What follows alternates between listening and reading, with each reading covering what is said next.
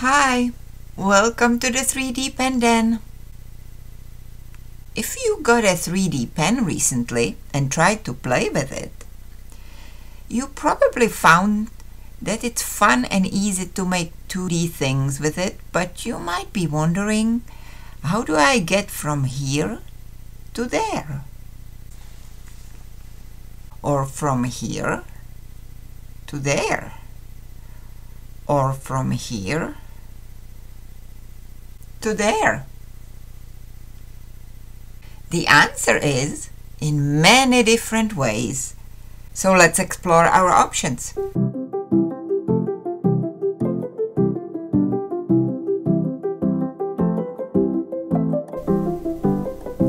If you have seen my two videos, Beginner's Guide to 3D Pen Use Part 1 and 2, and if you haven't, the links are in the description, you may remember I talked about the three S's for success with 3D Pen. Surface, strategy, and stability. We are not going to talk about Surface today, because I already have two videos about it. The links are also in the description. But let me just say here, it is an important S. Looking at this bridging example demo, for example, here it works quite well and here not at all and the pen, brand of PLA filament and skill level of the user are all the same. The only difference that makes it or breaks it is the different surface. This video is going to be about some of the different possible strategies you can use to get from 2D to 3D. Most of them fall into four general categories. Joining intersecting planes, joining parallel planes, working on curved surfaces, and working flat and heat forming later. Each of these really need a separate video, but let's look at what they can do for you. The simplest way to make something 3D is to take two flat planes and join them together. As we know from origami, a single fold can make a flat sheet of paper three-dimensional. When you do join the two planes, remember the third S for success, which is stability, and tape everything down. It will make your life a lot easier if things do not budge as you are trying to join them. Another way to make a corner is to stand one plane up and just continue drawing around the corner. You can't always do this, but when you can, it creates way cleaner corners.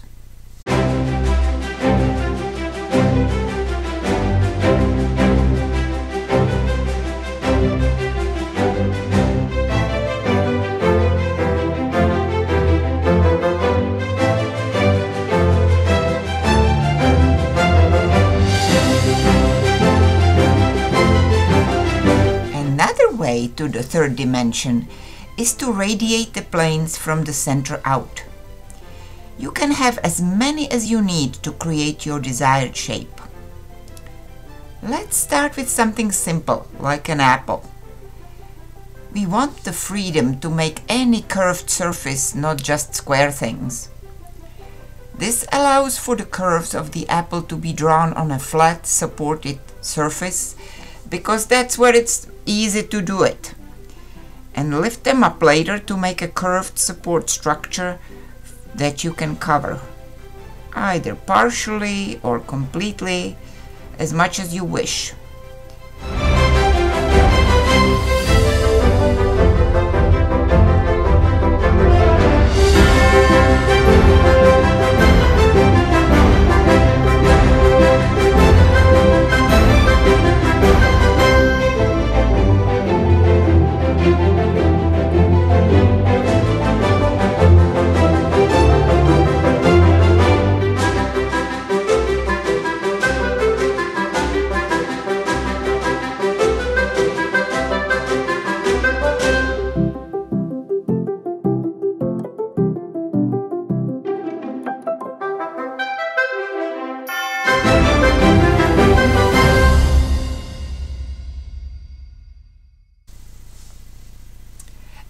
Another super simple way of making something 3D is bridging between any two parallel planes, as you may remember from the bridging video.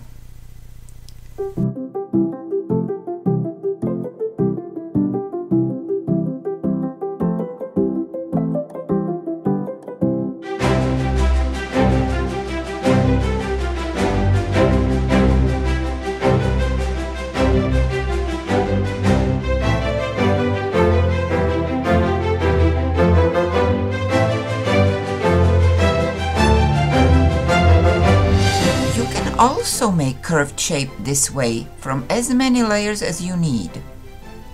Except this way, you can make your custom shape hollow if your particular project calls for it, like when you are making a basket or a vessel.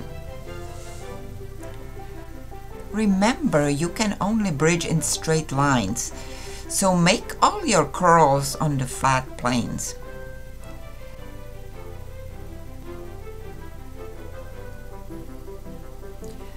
This method is good for large 3D see-through things that will have some other large 3D see-through things inside it.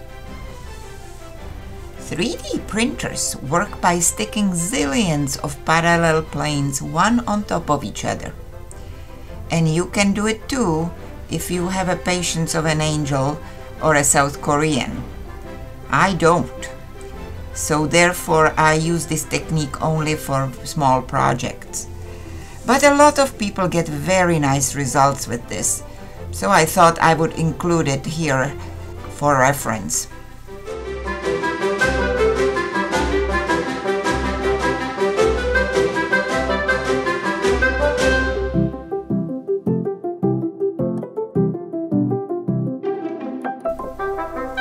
Contour lifting is a way of sculpting a form by reversing a contour map of the object. You just put the elevation back into it. You don't need the parallel planes to be sitting directly on top of each other to define a shape. Here is how to make a bottle shape. And here is how to make a concave and convex shape to make a chalice, but it does work for asymmetrical objects too.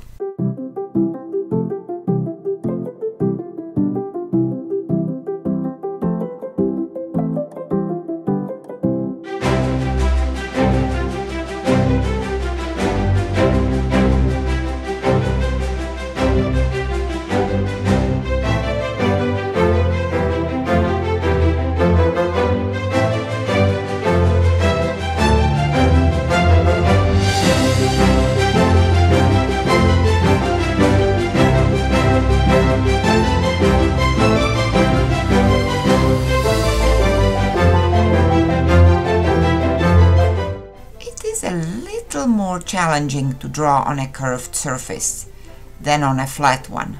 But sometimes it is easier to find an existing curved surface to use as a form. You just have to find the right shape and size.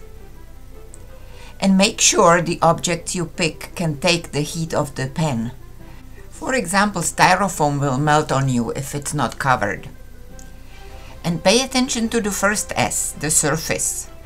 You may need to either spray it or cover it with masking tape for the plastic to stick. Details are in the video Making Spheres Part 2. Link is down in the description too.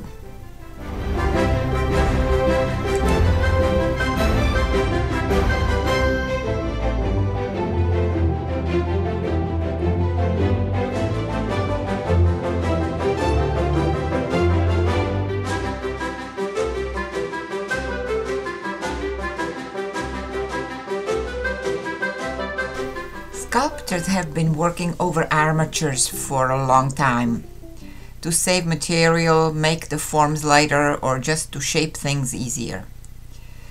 So if your shape doesn't have to be hollow, you can also work over some material that will ultimately stay inside your sculpture permanently.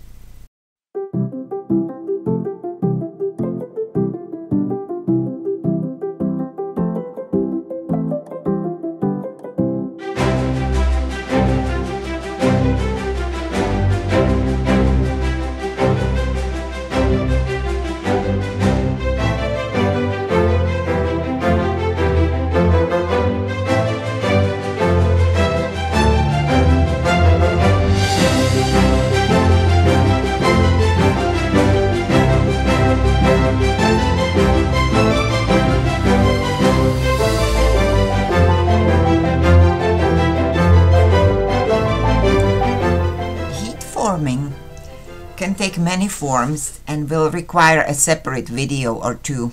So for now, just a word about why you would want to use it. A.